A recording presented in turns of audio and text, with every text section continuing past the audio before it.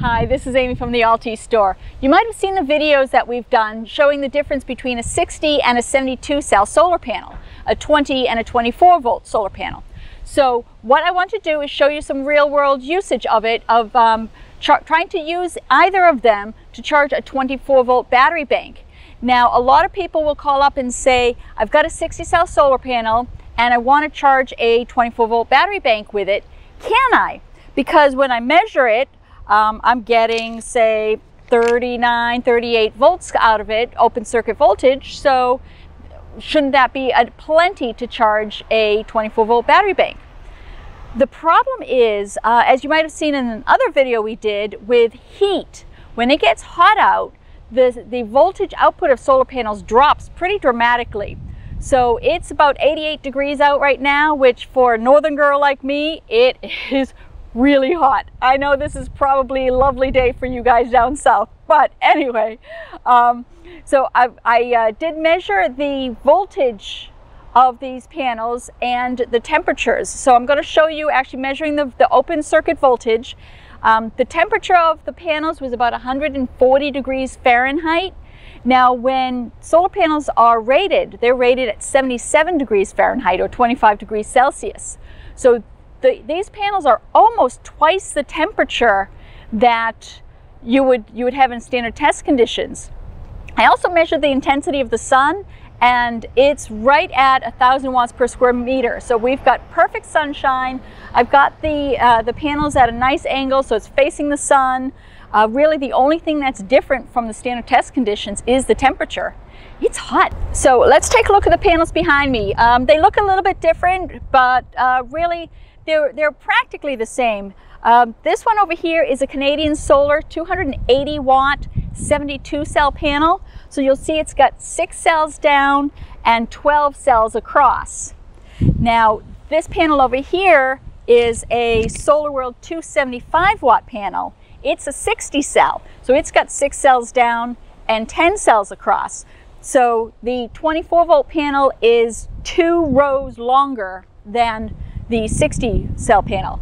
Um, the, the reason that they look a bit different from each other color-wise is this one is in fact a monocrystalline, so you see it's a little darker and it's got the rounded corners that create those, those um, triangle or the, the diamonds in the middle. And this is a polycrystalline, so they're made out of blocks. So it's, it does look a little different, but the, the ratings of them are very, very similar. And um, so I think that they're really very close, so should be able to give you a good demo here. So let's measure the Canadian Solar 72 cell panel, the 24 volt panel. So its open circuit voltage is rated at 44.6 volts. Now again, it's hot out. So let's see what we get with this. I'm just going to measure right across and I'm measuring 38.5 volts.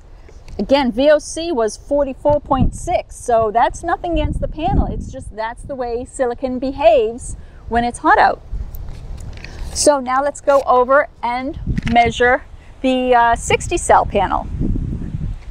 I'm tucked back here so I'm not shading it. Now this is a 275 watt 60 cell panel. Its open circuit voltage is 39.4 volts. I'm measuring 34.1 volts. So again, it's a little bit lower than, uh, than what the VOC is because it's hot. So different types of batteries like to be charged at, at slightly different voltages. According to Trojan battery, they're flooded batteries. They want to be charged anywhere from 29.4 volts to 30.96 volts for their flooded batteries. And their sealed AGMs any, are somewhere around 28.8 volts. Now, uh, different charge controllers, some of them let you set uh, what voltages to use, and some are just um, fixed based on what type you tell it that you're charging. So um, for the Morningstar ProStar that we're going to be using, uh, their, their flooded setting is 28.8 volts with an equalize up to 30.2 volts. And AGM is anywhere from 28.3 to 28.7 volts. So that is right around, a little low, but right, right around what Trojan says that they want their batteries to be charged at. So let's take a look. We're going to keep those numbers up because we're going to remember those are the numbers that we're striving for. So I am first going to plug in the 24 volt solar panel to the charge controller to the 24 volt battery bank and we'll see what kind of numbers we get out of that. All right, so now we've got our 24 volt solar panel plugged in and if we take a look at our meters, we're getting 31.3 volts connected from the, the uh, solar panel to the charge controller and then out to the battery I'm seeing 27.7 volts. So I'm seeing about 5.9 amps. So this is really actively charging this, uh, this battery. So now let's turn that off and pop over to my 60 cell panel and see what we get. Okay, so I've got my 60 cell 20 volt solar panel plugged into this 24 volt charge controller to the 24 volt battery bank. Now I'm seeing 29.1 volts going into the charge controller, about 27.7 to, to the battery, and 5.19 amps. So it is in fact charging and um, that 29 volts, that is slightly above by, by maybe a volt what the, uh, the rating was, was for, what the ideal rating.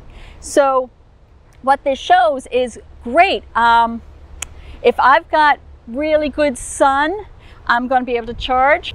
So this is a tough one because yes, it kind of works.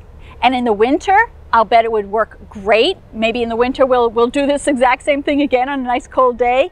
Um, but if you're trying to get the best output, the best charge for your battery bank, for the healthiest battery bank, you really do want to use either a 72 cell or two 36 cell 12 volt uh, panels in series to get that 24 volts.